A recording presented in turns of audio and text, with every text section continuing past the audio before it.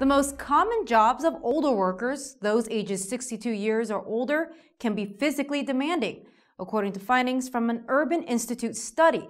Among men, the five most common jobs are delivery workers and truck drivers, janitors, farmers, and ranchers, followed by teachers and lawyers. As for women ages 62 years or older, the five most common occupations are teachers, secretaries, personal care aides, registered nurses, and childcare workers.